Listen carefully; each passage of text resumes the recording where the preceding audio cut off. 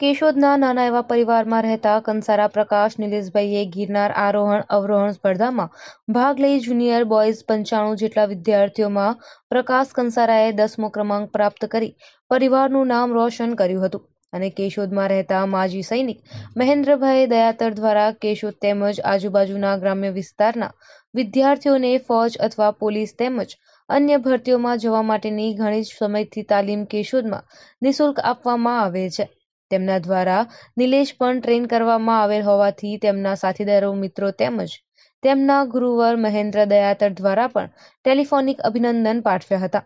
તેમજ પ્રકાશનો દસમો ક્રમાંક આવતા પરિવાર દ્વારા પણ ખૂબ જ ખુશીની લાગણી સાથે મોઢું મીઠું કરાવી સૌ કોઈએ અભિનંદન સહ આશીર્વાદ આપ્યા હતા.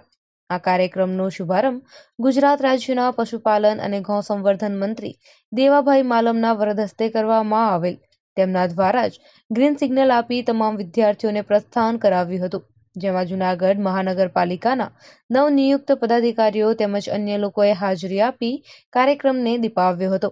અને આજના આ ગિરનાર આરોહણ અવરોહણ સ્પર્ધામાં ભારતભરના લોકોએ ભાગ લીધેલ હતો. આજરોજ જે ગિરનાર આરોહણ અવરોહણ સ્પર્ધા યોજાઈ હતી, જેમાં મારો દસમો નંબર આવેલો છે અને તેમાં મારો ટાઈમિંગ એક કલાક દસ મિનિટ અને સુડતાલીસ સેકન્ડ છે. જે જ્યારે ગયા ગયા વખતે સ્ટેટ લેવલની સ્પર્ધા યોજાઈ હતી, જેમાં મારો નવમો રેન્ક આવેલો હતો અને ત્યાં, તે વખતે મારો ટાઈમિંગ એક કલાક સોળ મિનિટ અને એકવીસ સેકન્ડ આવેલો હતો.